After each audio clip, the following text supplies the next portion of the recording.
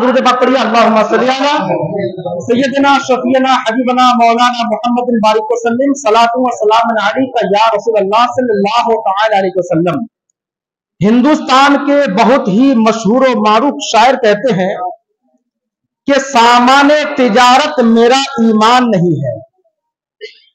सामान्य तिजारत मेरा ईमान नहीं है और हर दर पे झुके सर ये मेरी शान नहीं है। सामान्य तिजारत मेरा ईमान नहीं है और हर दर पे झुके सर, ये मेरी शान नहीं है और हर लफ्ज को सीने में बसा लो तो बने बात हर लफ्ज को सीने में बसा लो तो बने बात ताकों में सजाने को ये कुरान नहीं है। ताकों में सजाने को। ये कुरान नहीं है। और मुसलमानों न घबराए। अभी खुदा की शान बाकी है। मुसलमानों ना घबराए। अभी खुदा की शान बाकी है। अभी इस्लाम ज़िंदा है। अभी कुरान बाकी है। अभी इस्लाम ज़िंदा है। अभी कुरान बाकी है। और है कौन मोहम्मद कौन खुदा। है कौन मोहम्मद। कौन खुदा, फरमान न बदला जाएगा बदलेगा ये जमाना लाख, मगर कुरान न बदला जाएगा बदलेगा ये जमाना लाख, मगर कुरान न बदला जाएगा। एक बार दुरूद पाक मोहब्बत से अल्लाह सैयदना, शफीना, हबीबना, मौलाना मोहम्मद बारिक सलात वसलाम सल्लल्लाहु जब माह रमज़ान का महीना आता है, माह रमज़ान की हर लम्हा हर घड़ी, हर साथ, हर सेकंड, हर मिनट रहमतों से भरपूर। रहमतों से भरपूर। अल्लाह तबारक ताला हुजूर सल्लल्लाहु फरमाते हैं कि जब इंसान रोजा इफ्तार करने के लिए बैठते हैं और खाना सामने हाजिर है, पानी सामने हाजिर है, नियामतें हाजिर है, इंसान भूख की वजह से पेट में कुछ है नहीं, सूखी होठ है, खुश्क जबान है भूखा पेट है। उनके सामने खाने के लिए नियामतें रखी है, लेकिन खा नहीं रहा। उसके सामने पानी रखे है, लेकिन पी नहीं रहा है।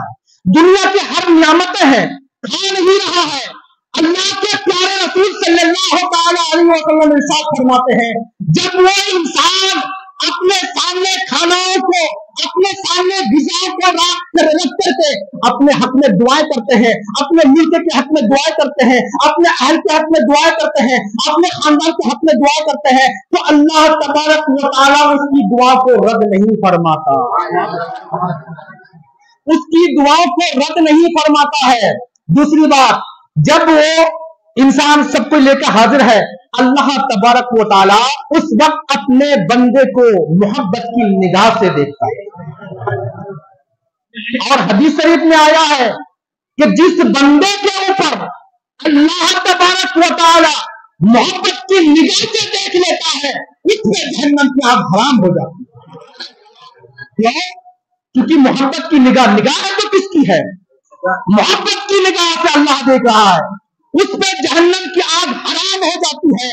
अल्लाह तबारक ताला फरिश्तों को हुक्म देता है फरिश्तों, तुम शाहिद हो जाओ, तुम गवाह हो जाओ। ये मेरे बंदे हैं, ये मेरी बंदियाँ हैं। आपके सामने खाना मौजूद है, लेकिन खा नहीं रहा है। उनके लगते एक ही चिल्ला है, एक ही बात है कि ये अभी वक्त नहीं हुआ है, अल्लाह का अदर नहीं हुआ है। अल्लाह का अदर नहीं हुआ है, इसलिए मेरे सामने तो सब कुछ है, लेकिन मैं खा नहीं सकता।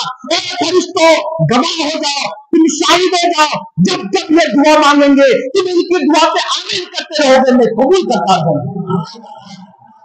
तुम आमीन करते होगे मैं कबूल करता रहूँगा।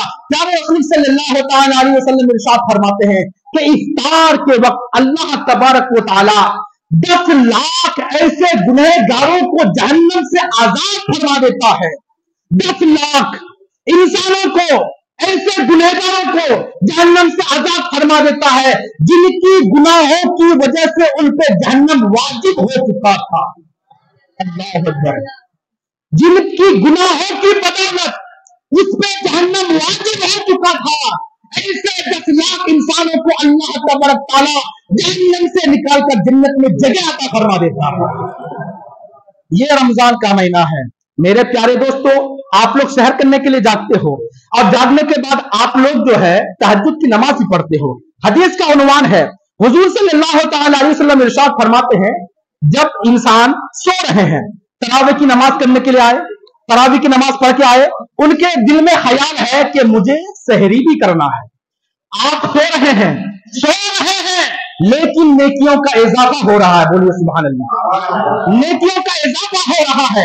हदीस शरीफ में आता है जब उसकी बीवी जाग जाती है जागने के बाद अपने शोहर को जगाती है कि उठिए शहर का वक्त करीब हो, हो रहा है।